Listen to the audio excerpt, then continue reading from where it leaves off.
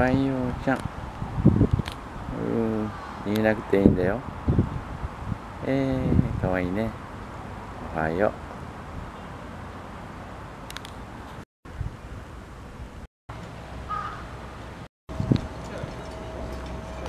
う。おはよう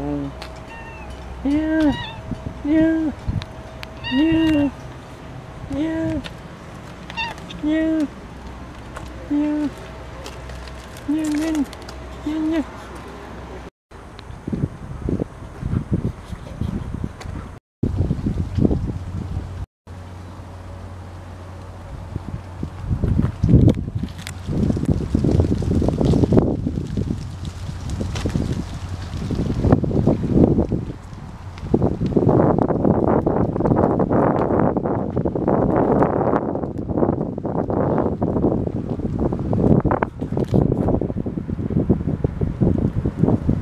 比叡山かな。い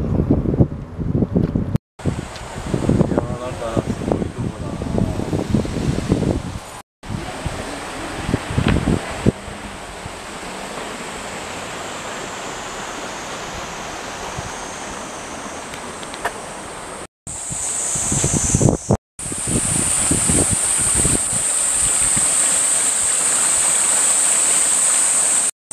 綺麗ですね。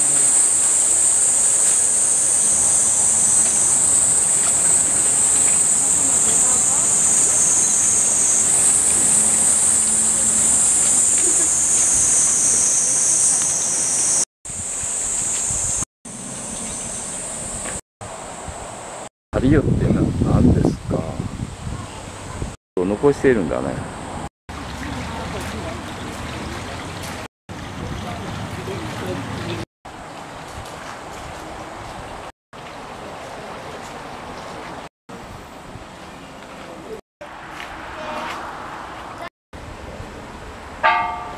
え？うん。花崗岩を丸骨にした半数を石像地蔵菩薩だぞ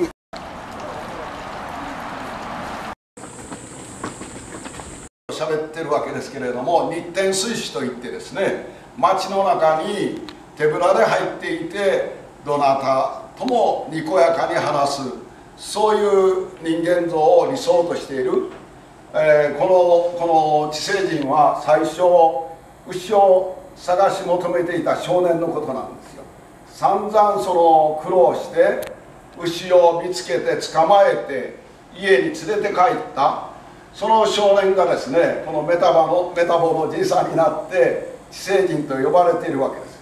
大変修行した人かもしれないし学問的教養があるかもしれない。だけどももうごく普通の凡人として生きておられる。これがあの東洋の理想の人間像なんですね。だからあの地球環境の大きな危機あるいは人間社会の内部崩壊こういう現実がねあの目の前にありながら私たちはあのどうすべきなのかどう生きるべきなのかといえばですねやはり私は祈りというものが大事だと思ってます。ただその祈りというのはあの神社に行ったりお寺に行ったりあるいは神棚や仏壇の前で座って手を合わせることそれだけじゃないんですね。それも一つの祈りの形態ですけれどもあの私の理解する祈りというのは行動であり感謝であると思っております、えー皆さんそれぞれお仕事を持って働いておられるわけですけどもその働くという行為それも祈りだと思うんですよね、えーそして、えーまあ、日西田喜太郎にあ行為的直感というあの考え方がありますけれども行動することが行為することが祈りであると。祈りはただ座ってるとかあのご仏殿の前で手を合わすことではなくてですね大胆に行動していく、まあ、特にあの利他の精神で行動していく。それが祈りだと思うし祈りのコアにはやはりありがとうという精神がないとね精神という言葉もおかしいんだけど感謝の気持ちがねあのあると思います。だから世界中の人がどんな宗教を信じておろが信じていまいがあるいは貧富の差があっても感謝ということに気がつけばねその日から世界は平和に向けて歩み始めると思うんですよね。難しいことは何もいらない。無意識の扉を開いて自分の魂のコアのところに感謝が浸透して感謝も口先だけでありがとうっていうんじゃなしに無意識に浸透していった時その人の性格も変わるし生き方も変わるしそれからその地域社会が変わっていく国が変わっていく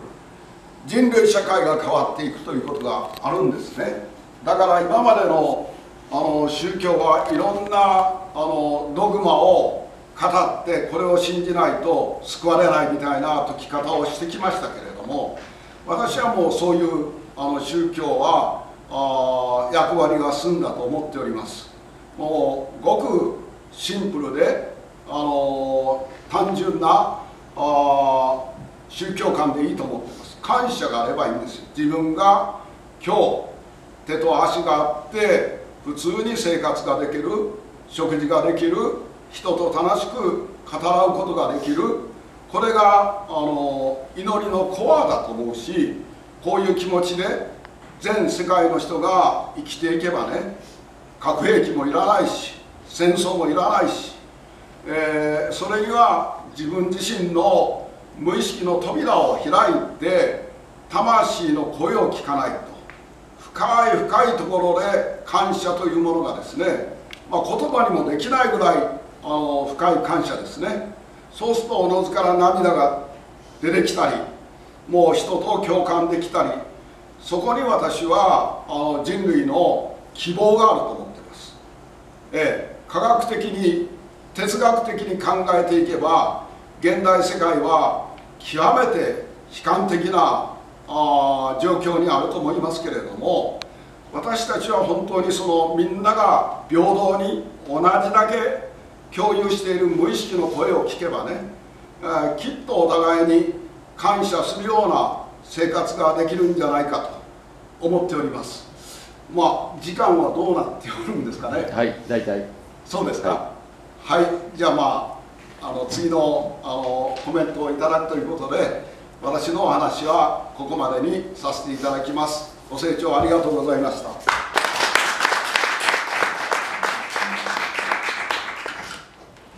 町田さんありがとうございます、えー、町田さんの今あ住所をされている宗派は天台宗です。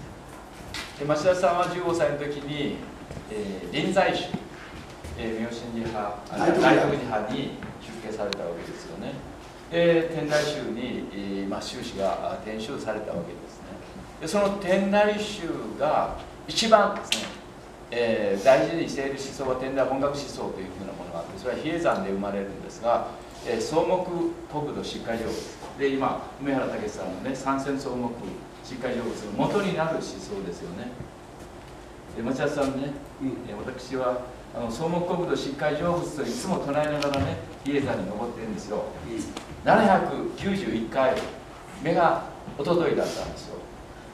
でもバク転3回してるのは私の中で無意識の問いが開く空になるためにバク転3回してるんですけどその時に目にねあの豚に噛まれたんですねで真っ赤にこう腫れちゃってねそれで帰ってきたらね足昼にねあのこう噛まれていたんで血だらけになっていたんですね。これが生物界のね実相でもあるわけですねでそれも含めて感謝しますというこの場合になることができなければ成仏の世界には至らないんだなというようなことをね、えー、でもまあそういうことができるのが人間でもあり、まあ、そこで憎しみから祈りへ大きな調和っていうふうなところへね行くことができればと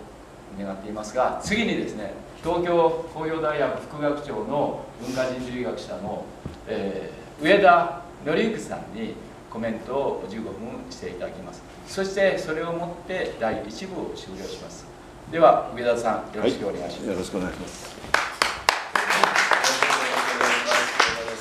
立ってやった方がいいですか？座った方がいい座って座った方がいい、はい、落ち着きます、はい。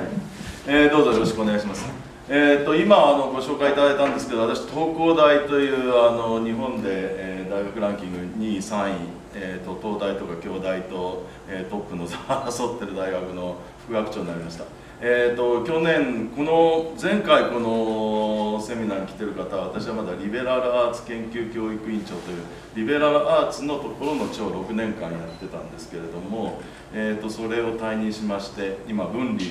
競争戦略担当の副学長になってるこれね私の過去を知ってる人はね相当驚いてると思います。だって私そもそもスリランカの悪魔払いの研究者でで日本で癒しっていう言葉癒しが重要じゃないかって言って癒しの上田さんってもう20年間ぐらい言われていてだからスピリチュアル系統で、えーと、そういう人だと思ってたのが東工大っていう日本の理工系のトップ大学の副学長になってるっていう。で今日もちょっとその話も私したいなって思ってるんですね。私と町田さんは何といってももう、えーと、一緒にインドにも行ったわ。アメリカの、えー、もう旅行したわであと「生きる力の仏教」という、えー、教著も出させていただいております。あと私自身はダライ・ラマ法華家と対談させていただいたようにまあそういった現代においてえー、仏教であるとか宗教であるとか利他心というものがどういうふうに復活していくのかということをもう声高に、えー、掲げているものなんですね。でそれと今日はねちょっと科学技術のお話で最初に所さん、えー、科学のっていうお話もさせていただいたし今はまあ副学長になったってこともあるのでさせていただきたいと思います。で町田さんの今のお話は結局その我々が理知的なものあるいは客観的論理的合理的なものっていう思考にとらわれてしまったことによってそしてその向こう側にはやっぱりその人間の欲であるとか利益を増やしていきたいっていうそうしたような、まあ、まあ近年のものすごく新中主義的なイデオロギーっていうようなものがあってそこがこう合体したことによって危機がもたらされてるっていうこういうお話なんですよね。だけど一方では私はねダライ・ラマ法華経とねお話しさせていただいた時にダライ・ラマ法華経は20世紀に対してものすごくポジティブなんですよ。やっぱり昔は身分制度とかがあって人間の個人っていうのは自由じゃなかった。それがここまで自由に来たし人権の意識っていうのもあの出てきたし民主主義っていうのもこれだけ起こってきた。まずはそれをポジティブに認めなければいけないんじゃないか。つまり今町田さんがおっしゃってるその理知の時代というのはある意味で封建時代のようなところから我々の子っていうものが解放されて人間が自由を獲得した。だけどもその自由を獲得したことによって野放図な人間の本性が出てきたという意味だと思うんですね。だから一段階前にちゃんと進んで進化をしたところでそうした人間の差がっていうものにより我々が鋭敏になっていく時代になった。だから理知的にすらなれない時代っていうのもあったわけですよ。あの多くのねあの我々の地球上の市民がね。だからそこになったことによって、えー、もう我々は人間の本性っていうものに向かわなきゃいけなくなってきたってことをこう一つまず言いたいんですねでその中で例えば科学技術ってどうなのっていうことになるといや科学がねどれだけ変えてるか今これだけインターネットで皆さんに配信されているのもいやもうこの科学技術の進展がなければできないことです。このマイクロフォン自体がもうない。あるいはここにエジソンが作った電気で今照らされていますけれども、えー、とそれができない。だから科学技術もある意味で人間を幸せにしてくる象徴だったのですが例えばしかしおととい起こった安倍首相の暗殺ということを考えてみるとですねあれ私がすごく驚いたのは自作の銃であったということです。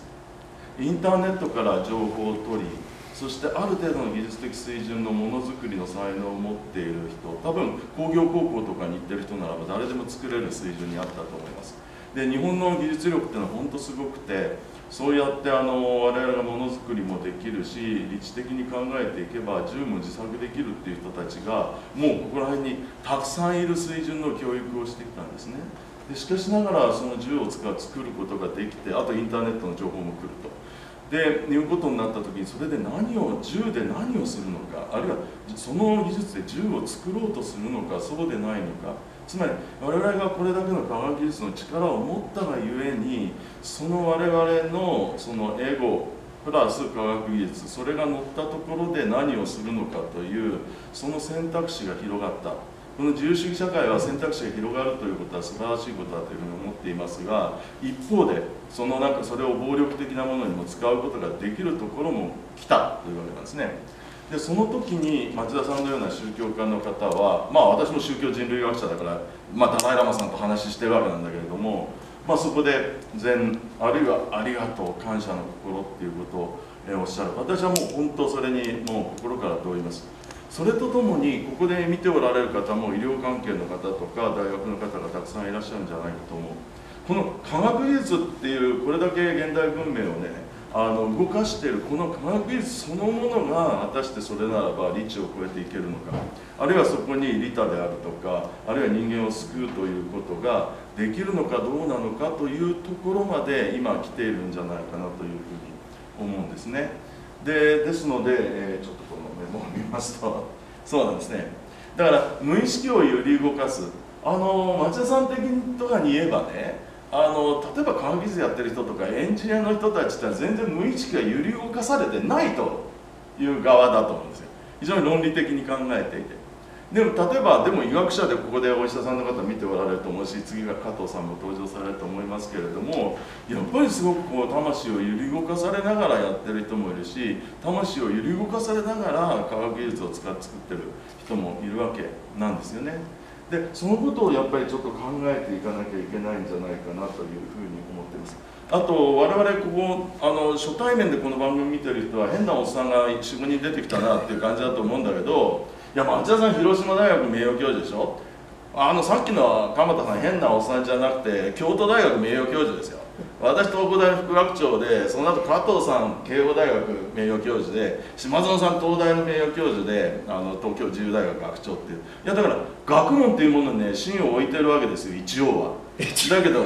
だけどその学問っていうのが果たしてその理知的なものでいいのか本当に我は私っていうそのあの自我のもだけでいいのか。だからそこに町田さんがこうおっしゃるような防我であるとかそうしたありがとうであるとかそういうものを本当にハードサイエンスあるいは大学学問っていうところに、えー、それを導入できないのかどうなのかってことを考えてるわけなんですね。でこれ私の会の時にもうちゃんと話そうと思うんですけれども私副学長として先日あの東工大で大きなプロジェクトを立ち上げました。それはねいじめゼロプロジェクトっていうの。いじめをもう文系のあの地も理系の地も使い切ってこの世の中からいじめをなくすっていうことにうちの大学がコミットメントしていると。もううちの大学だけではダメです。もう学外のいろんな人たちにも集まってもらう。でねいじめゼロなんてねダメ。難しいでしょって思うかもしれない。だってあのお釈迦様の時代からキリストさんの時代からだってキリストさんは貼り付けになっちゃってるわけだし。だからそんなの人間の差がでねいじめがなくなるなんてことはないっていうふうにまあまあ普通の人は思いますよね。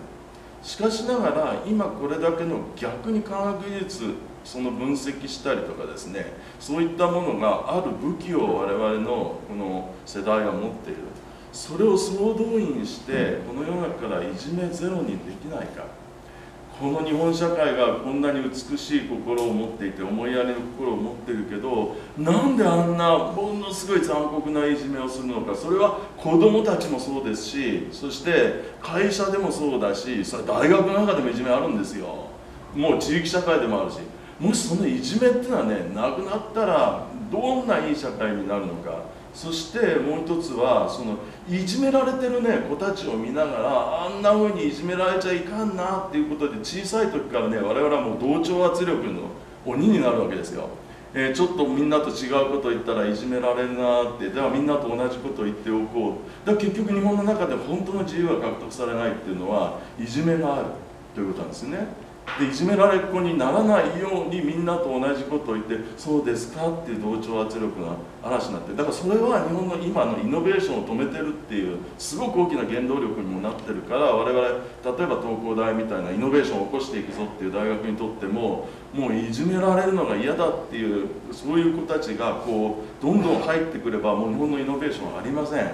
いじめもうどんな変なことを言ってもいじめられないんだってことを小さい時からねこうあの分かってもらうっていう子を作っていきたい。でそれにはだから SNS 上の中でいじめがどう発生するのかっていうそこの情報工学のところを今攻めようとしていますしもう本当 SNS 上のいじめ本当にひどいですよね。であとはあの我々の自己信頼感みたいなものといじめはどう関係あるのかとかあるいは本当ライフスタイルで睡眠時間といじめはどう関係あるのかとかですね人間の空間的距離でそれまあまあちょっと最初はセンサーとかつけてもらわなきゃいけないけど、えーと、どういうような人間の人間距離みたいなところでいじめが発生していくのかとか、えー、そこからまだ時間大丈夫？あと何何分ぐらい？え？そんなにあんの？そんなにありません。そんなにないよね。2分ぐらいじゃないですか。2分？やあの初めの講義が早く単認識になっていくんですね。でそれ自体はあんまりあの私にとってはあんまり楽しいことではなくてなんかもうこれ機械的にやってる医療だなっていうふうなことを感じてたわけです。ところがその品川のクリニックに行って、えー、と1人20分診療に時間かけられる。そして、まあ、あの時間が空いてる時には1時間相手の話を聞くことができる。まあ、そういうふうな余裕ができるとだんだんその人の人生に出会うようなお話を聞けることが増えてきました。でまあその実はその人材養成講座で演習をやっている時に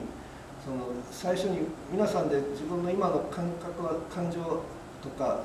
準備はどうですかってチェックインってやるんですけどもその時にこう集まってても3分ぐらいみんな黙ったままで過ごすんですよね。3分5分とか。で準備した人できた人から話すっていう。そんなことが行われ私は最初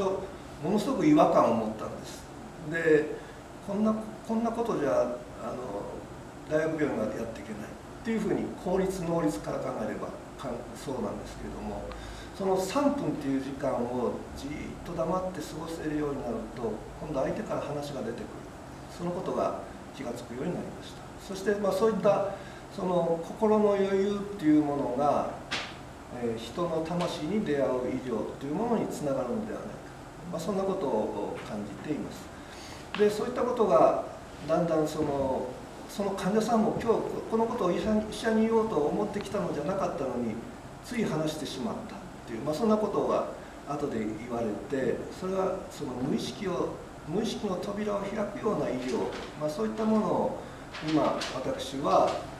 こう勉強させられているんだな、まあ、そんなことを感じているこの頃です。以上です。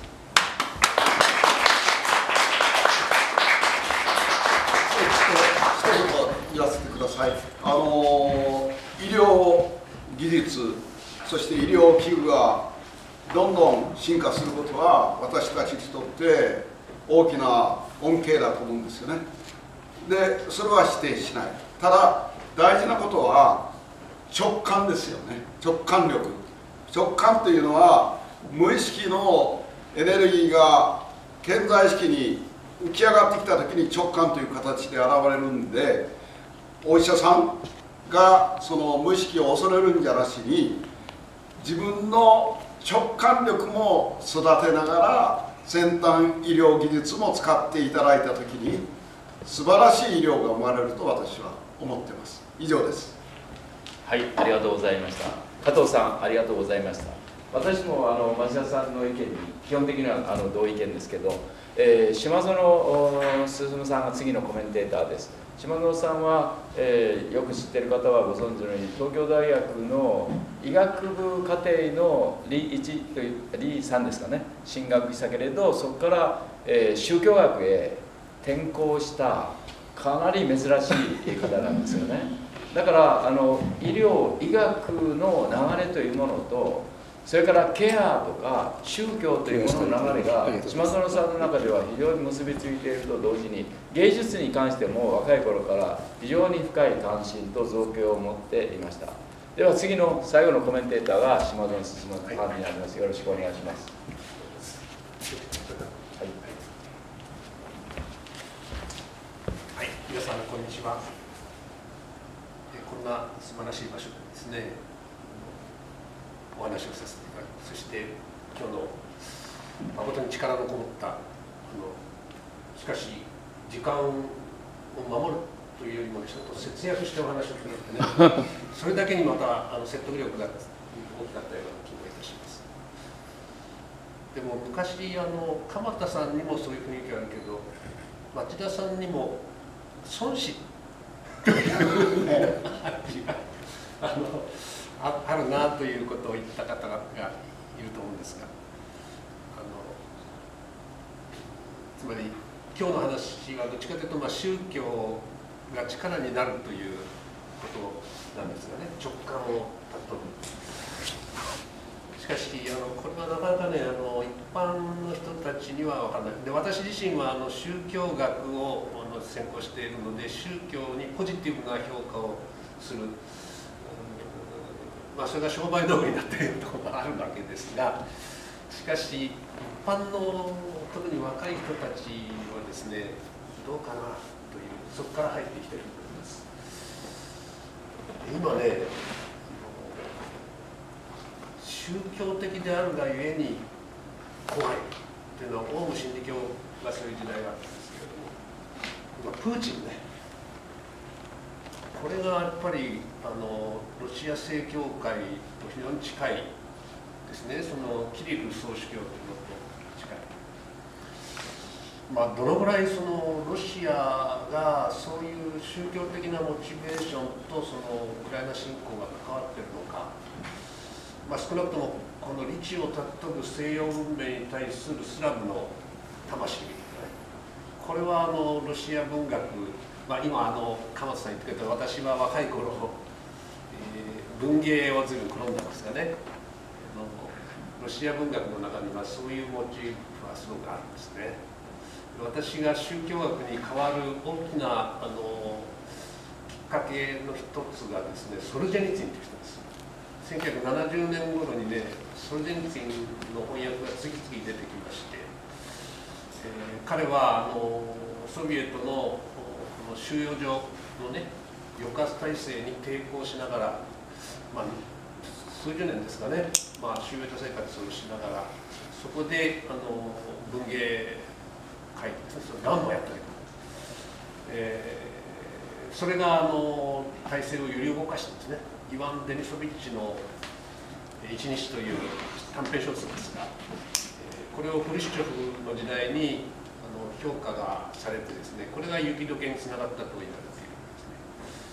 それで、えーまあ、その後ブレジネフの時代になりましてあのソルジェニツィンはまた亡命しましたね。アメリカに行ったけれどもアメリカの文明を彼はあの非常に嫌った。これはダメだと思っていたんですね。それであのロシアに帰ってきて、まあ、あの亡くなったんですが最後プーチンの時代にも彼はいてプーチンそのエリツィンに対しては厳しかったけどもプーチンに対しては非常に好意的だったと言われてます。でそのこととあのそのロシア正教会まああの宗教がなければ人類はあの破滅するっていうかね。そういうビジョンをそれでは持っていて、まあ、私もそれに共鳴して宗教をあの共鳴し共鳴するっていうかね、まあ、自分の中空っぽだっていうふうに思ったんですね。社会変革とかいうことをベトナム戦争反対とか、えー、していたわけなんだけども偉そうなことを言ってるけど自分は何なんだという時に何もないというですね。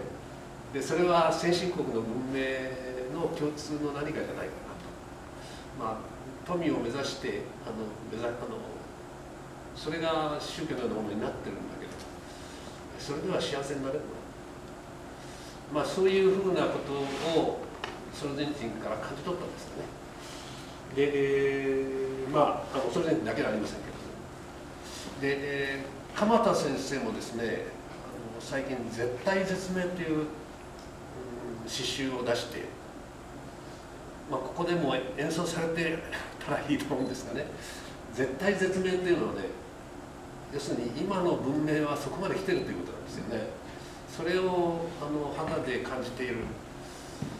まあ、あの鎌田先生があの歌うとですね私などは少し幸せな気持ちになるんだけれどもその裏にはかなり絶望的な状態であるっていうそれは詩を読めばそういうふうにな内容になってるんですね。ですからあの涙を流す涙が出てきたという方もおられるわけです。あれを聞いている。その中にはですねあの現代の人類の悲しみ痛みそれはウクライナのニュースを毎日見ているあるいはコロナのニュースを毎日見ている、まあ、そういう中であのそういうことがあの非常に大きいというね、まあ、そういうことをまず言いたいと思います。というのはあの感謝はとても大事な宗教のあのということだと思うんですよね。それからそれは恵み。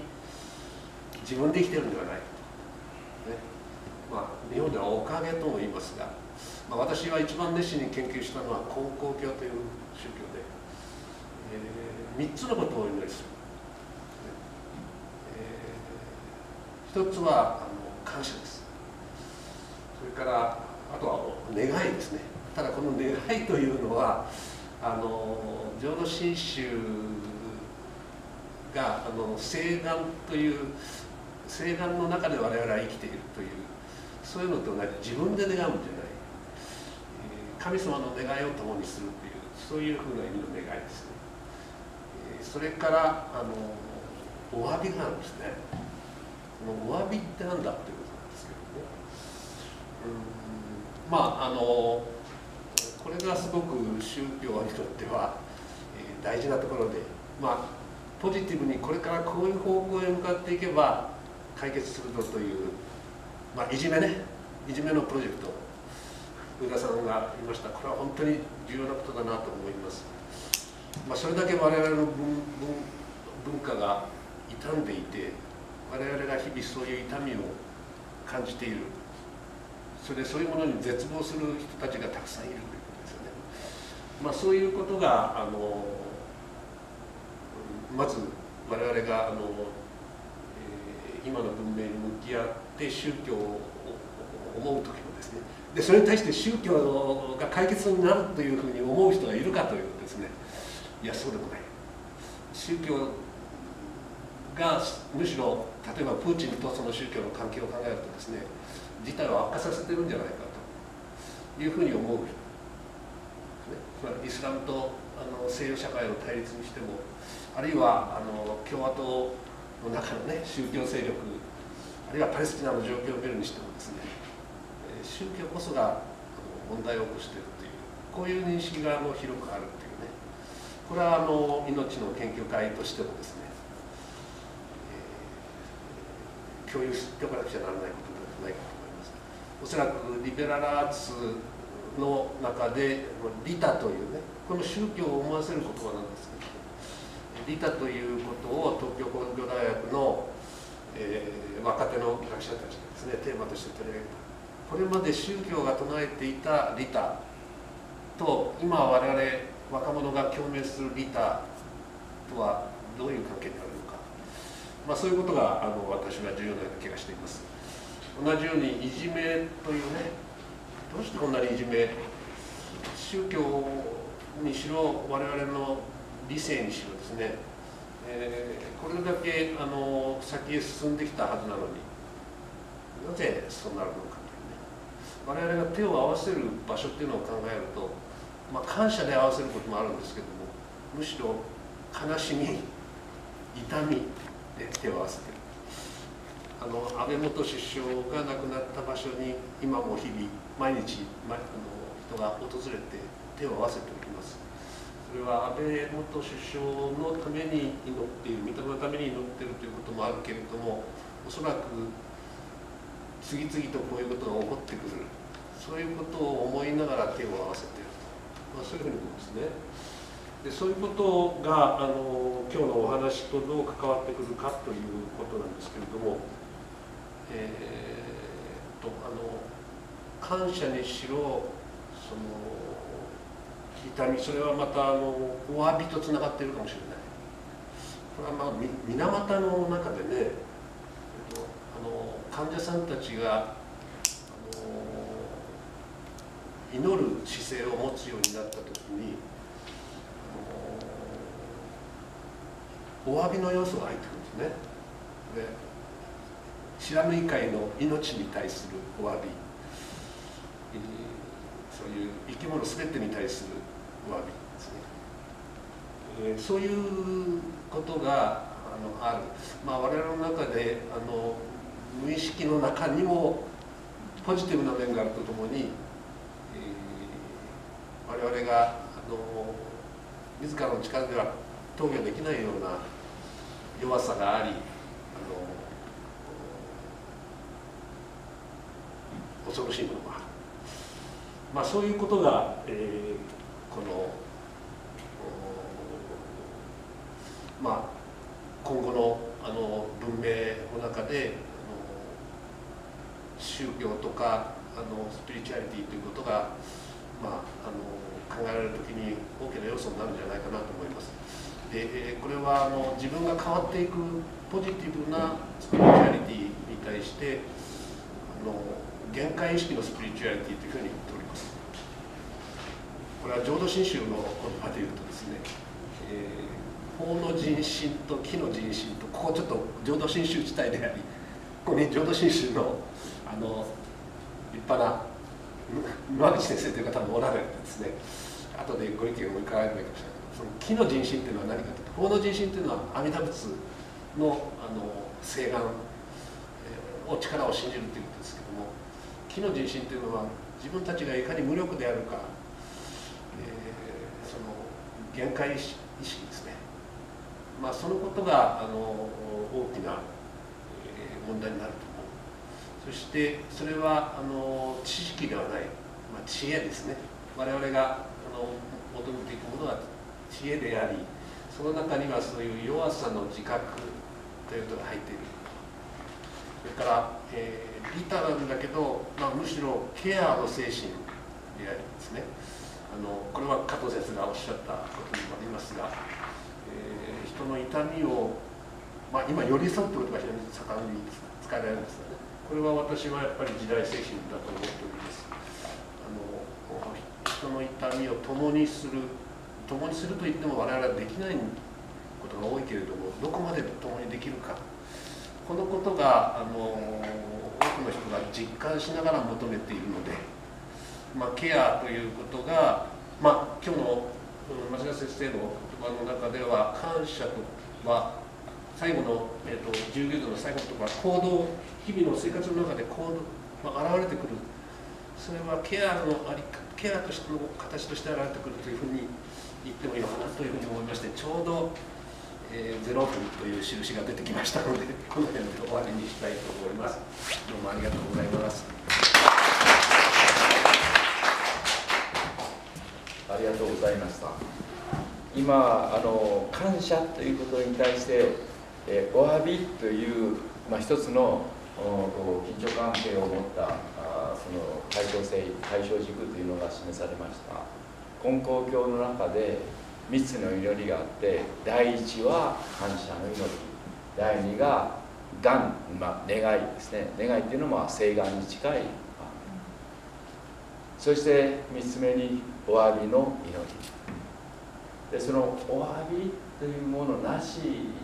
まあお詫びが、えー、こう行き着くところに感謝も生まれてくるという、まあ、こういうこう一種こうつながっているこうワークするような関係性にあると思うんです。けど私たちこう若いこうミュージシャンとかの仲間で2000年20世紀から21世紀になる時にまずですね「地球にごめんなさい」という祭りは行いました。1999年「ごめんなさい」ここから始めよう。次に2000年になった時に「おかえりなさい」というおかえりなさい。まあちょうどゼロ地点でですねお帰りなさいと祭りを行いますで2001年にやった時に旅立ちなさいという祭りを行います。まあ3つともですね。えごめんなさい、えー、お帰りなさい。旅立ちなさいという「祭」がついている。その「祭」は祭りという意味合いでそれを行いました。で一番最初に「ごめんなさい」というところが始まったのは私にとっても非常に重要であったというふうに思います。今あ下野さんが指摘されたを唱えてる最中あるいはごまをね炊いてる最中にあの号泣したことがね10編近くあったんですよ。それはね自分ではあの説明できない感情であの本当に自分が今まで60数年生きてきたその中で犯した過ち人に対して心ない言葉を吐いてしまったあの気持ちそういうものがねこう凝縮してあのそれこそ無意識からあの込み上げてきてあの涙が止まらなくなる声も出して泣きました。それもビシッと決まったあの集団的な行の中で私一人声を上げて泣いていた。それが1回や2回なじゃなし10回近くそういうことがあったんですがあれはですねやはりこの集中して行をしている時に無意識の扉がパカッと開いちゃってその私の無意識に潜んでいる懺悔の気持ちがあのようなあ号泣になってしまったんじゃないかと。私あの人生でですね人前で泣いたことは1回しかないんですよ。それはいつかというと14歳で出家して21歳の頃にあの寺を家出して 半年ほど放浪していたんですが半年の放浪を終えて師匠の前に帰った時あの声を上げて泣きました。それはお詫びの気持ちもあったし私の心の中で整理しない整理できない、えー、心の矛盾に対する悔しさその時のね21で人前で泣いたこと1回きりでそれ以外なかったのに65歳で比叡山で行をしているうちにあたくさんの人の前で号泣してしまった。それは本当の意味で懺悔という感情が湧き上がったんだと思います。それとねあのヨーロッパ行かれた方はご存知でしょうけどカトリック教会には必ずあの懺悔室というのがありますね。コンフェッションルーム。神父さんに自分が犯した罪をあの告下する部屋ですけれどもあの懺悔しておられる時は赤いランプがついてドアを開けないようになってるわけですけれども最近ねヨーロッパ、まあ、アメリカにもカトリック教会がたくさんありますけど懺悔に行く人はね本当に少ないですよ、うん、それは聖書に記されているような神の教え神の掟を破ったことに対する懺悔をしようという気持ちになってる人は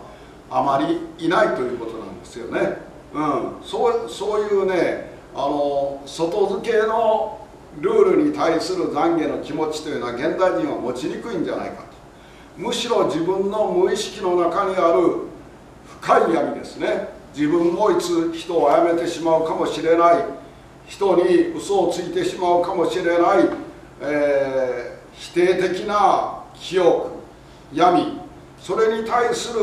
残業あの自覚しないとね本当の意味でのごめんなさいっていうことはね口先で言うのは簡単だけどもう自分自身に対してごめんなさいですよ。自分の魂に対してごめんなさい。だからありがとうというのは簡単だけどそのありがとう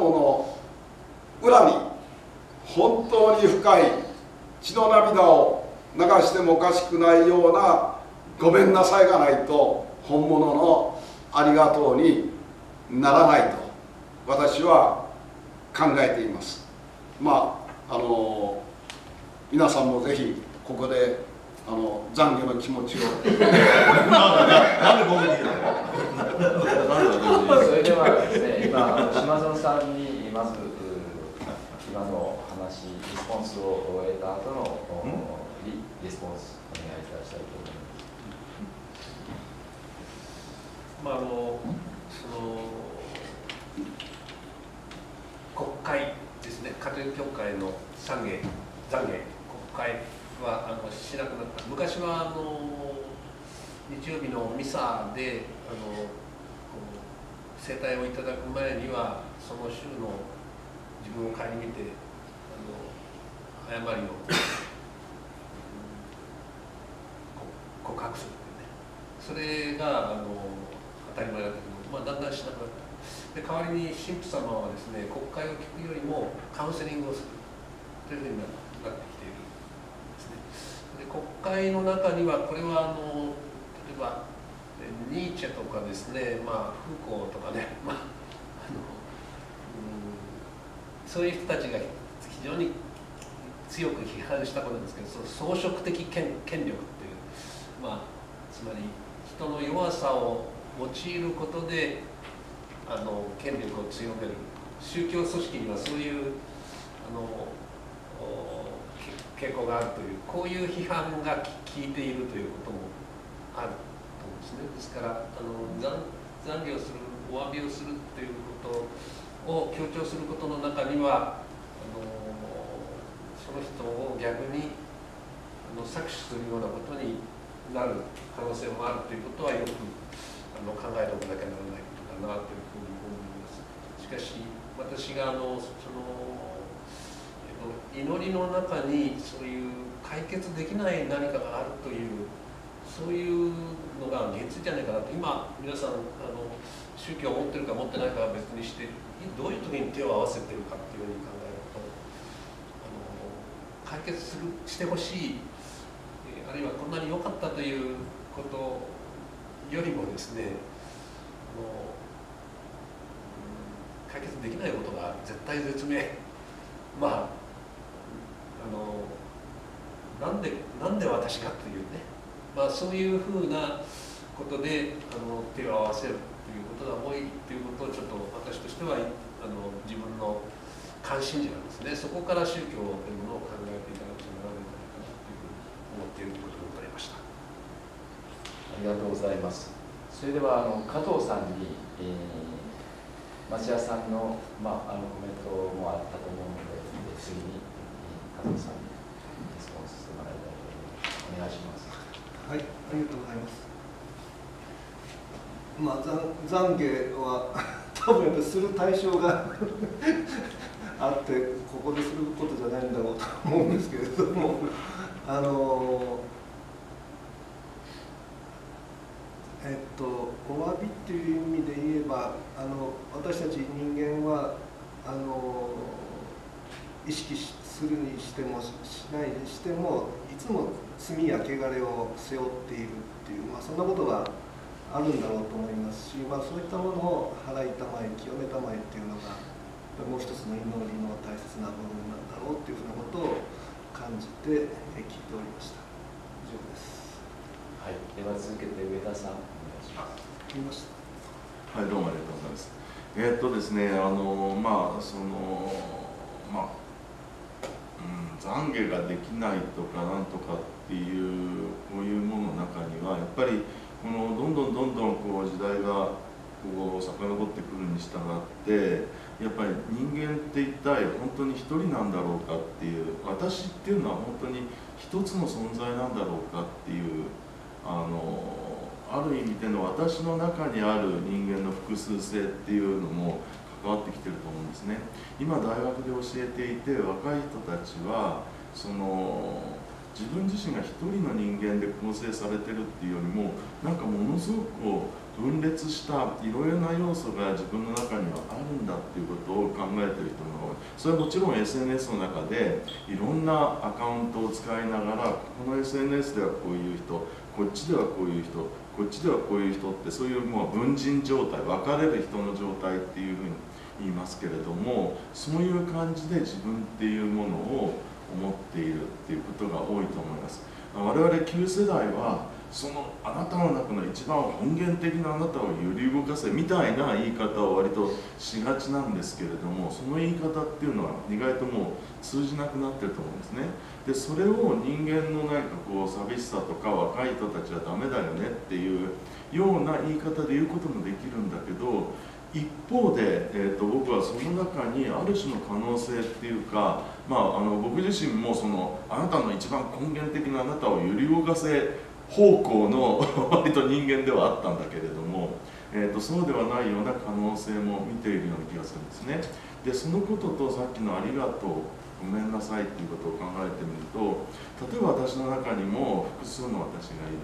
あの私というと母一人子一人で育てられてその母親とも血みどろの葛藤があるっていう話は私の、えーと、かけがえのない人間っていうの中でもう百数十ページにわたってひたすら母との葛藤を書き続けたっていうのがあるぐらい葛藤があって高校時代にお前と別れた者が人の一人や二人ぶっ殺すみたいなことを親親子のこと言っちゃったりしたってことも書いてあるんですけど私が例えば母の何が嫌いだったかっていうと何か何かこう失敗したことを言うとじゃああの時ああしておけばよかったじゃないってすぐ言われてそれであの時なんでそういうふうにしておかなかったのとかあの時ああいうふうに言っておけばよかった。もう終わったことなんだからそんなこと言うなよってもう人生暗くなるばっかりだってもう。いちいち何か私の欠点というかその時何かやらなかったことをこう指摘されてもそれが自分にこう追ってきてこうでただでさえ中高時代高校時代とか暗くなりがちなのにそういうことを言う母親っていうのはもうもうなんかもうこの人と一緒にいたら絶対明るくならないみたいな感じがしてまあそうなったしその後まあいろんな葛藤があったんですけど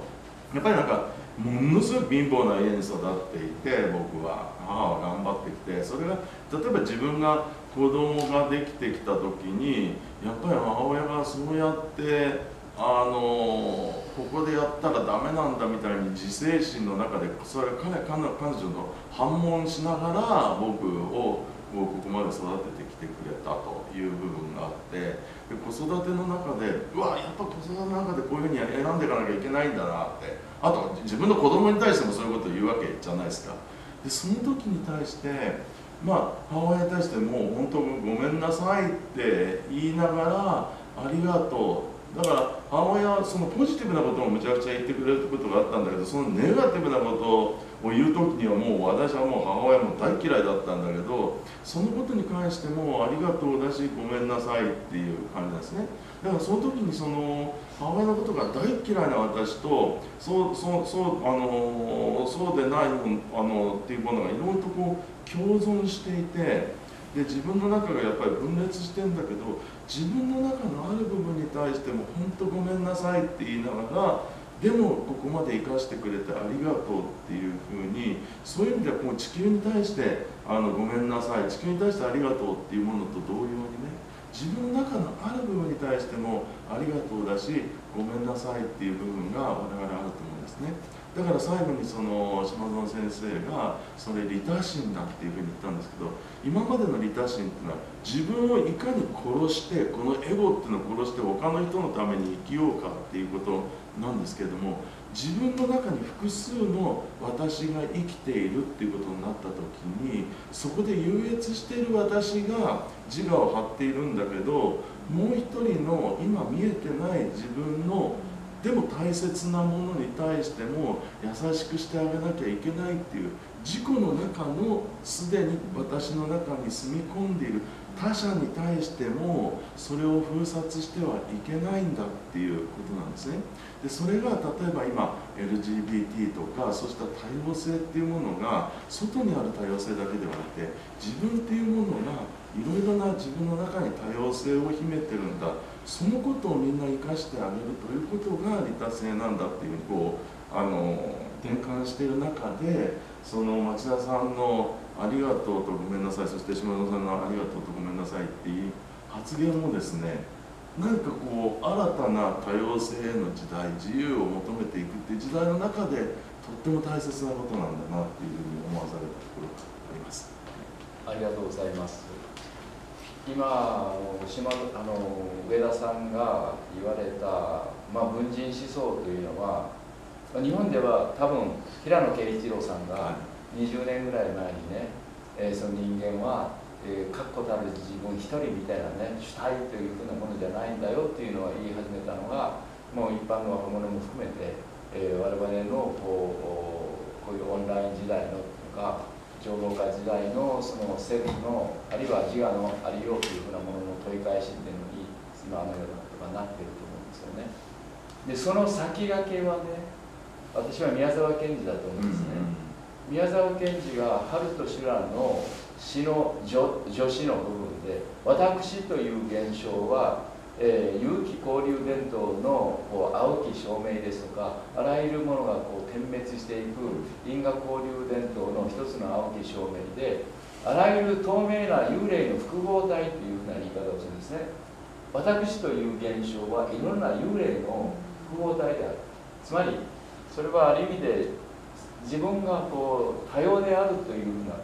その場合彼の場合は輪廻転生というものを前提としている思想だと思うんですよね。生まれ変わってきて今の自分が。でそれは仏教的に言うと荒屋敷の問題主事式の問題にもなり非常に深い議論にはなるところなんですけれどでも自己の中にある多様性という認識においてかなり普遍性を持った思想だと思うんですよね。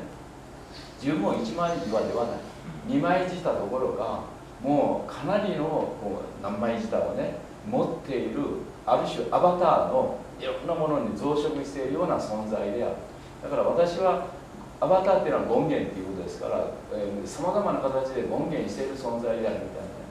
こういう考え方っていうのは今の社会の中で多くの人が、えー、共鳴できるような考え方になっていると思うんですよね。でそれをこうどういうふうに今日の無意識を開くというものとつなげていくのかを次にあの町田さんに聞いてフロアの方のコメントにねつないでいきたいと思います。